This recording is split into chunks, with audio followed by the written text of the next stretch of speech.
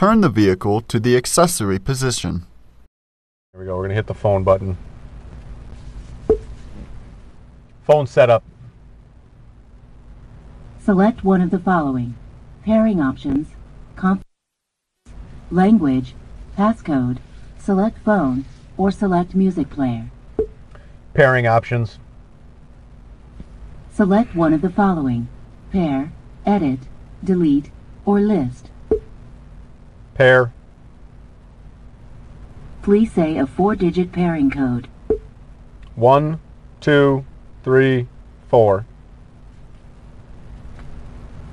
Pairing code one, two, three, four. Is this correct?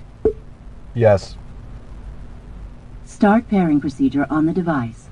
See the device manual for instructions.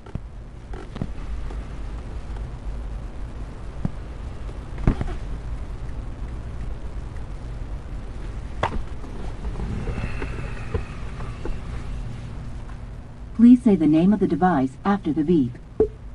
Car care kiosk.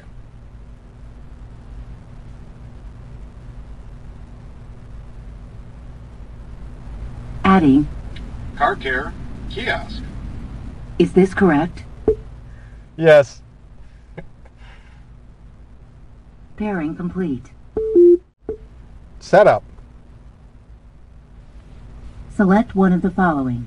Pairing options, confirmation prompts, language, passcode, select phone, or select music player. Pairing options. Select one of the following. Pair, edit, delete, or list. Delete. Please say 1, 4. Car care kiosk. One. Deleting, Car care kiosk. is this correct? Yes. Deleted. The process for syncing your phone to your vehicle can vary depending on what type of phone you have. Go to the Settings section on your phone and navigate to Bluetooth. Select Scan for Device and wait for the vehicle to appear. Select the vehicle in order to pair your device. Depending on your vehicle, you may need to compare the number on your device with the number on the screen of the vehicle. If you're prompted for a password and don't know it, try 1234 0000 or ABCD. One common issue is that the Bluetooth on the device is turned off. On most phones, the Bluetooth will automatically turn off when the battery is low. Check your phone to make sure the Bluetooth is enabled if you are experiencing difficulty.